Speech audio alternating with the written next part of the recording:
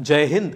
मैं ललित खत्री और आप देख रहे हैं राजस्थान में तेज़ी से बढ़ता है एमटीटीवी इंडिया आज बात मुख्यमंत्री अशोक गहलोत और सचिन पायलट के तालमेल की। गुरुवार को राजस्थान के मुख्यमंत्री अशोक गहलोत ने उप मुख्यमंत्री सचिन पायलट की मायरा फ़ैशन, स्वामी कॉम्प्लेक्स, अनवेगा मॉल Ajmer. और से कोटा मामले में विभाग की कार्यशैली की आलोचना का स्वागत किया है। उन्होंने कहा कि वो कांग्रेस पार्टी के प्रदेशाध्यक्ष के साथ उप मुख्यमंत्री भी है। प्रदेश अध्यक्ष पद की एक गरिमा होती है। अगर प्रदेशाध्यक्ष बोलते हैं तो सभी को उसे सुनना चाहिए, उसकी पालना करनी चाहिए। चाहे वह मंत्री हो या मुख्यमंत्री हो या सरकार के अधिकारी, इसके साथ ही उन्होंने कहा कि उनकी बात पर गंभीरता दिखानी चाहिए एक्शन भी लेना चाहिए। सच्चाई की बात है तो जाँच भी होनी चाहिए। कहीं कोई कमी दिखे तो उसे सुधारा जाना चाहिए। सुनिए क्या कह रहे हैं मुख्यमंत्री अशोक गहलोत?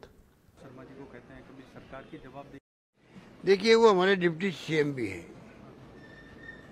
और पीसी प्रेसिडेंट भी हैं। इसलिए उनके दो अधिकार हैं। एक तो पीसी प्रेसिडेंट के हैसियत से उनका अधिकार है कोई बात कहने का।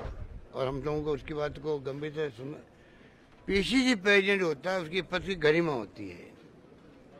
और जो पीसी प्रेसिडेंट बोलता है, कमेंट करता है तो सरकार को चाहिए, सरकार के नुमाइंदों को चाहिए उन बातों को, उनके सुझावों को गंभीरता से ले और उस पर एक्शन करे, मेरा मानना है।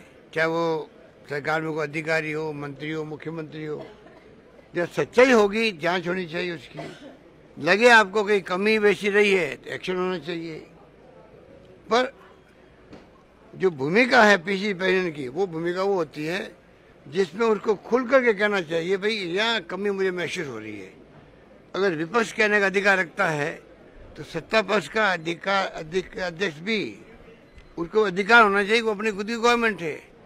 विपक्ष तो कई बार आलोचना करता है उसको अधिकार है कि वो अपनी बात कहे सुझाव दे सुझाव भी दे साथ में कि क्या क्या इम्प्रूवमेंट हो सकता है उसको दूर करेंगे हम लोग। मुझसे मुझे बताएँगे वो फीडबैक देंगे।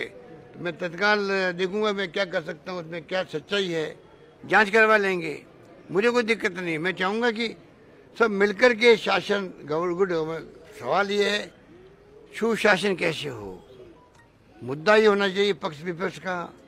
सुशासन कैसे होगा?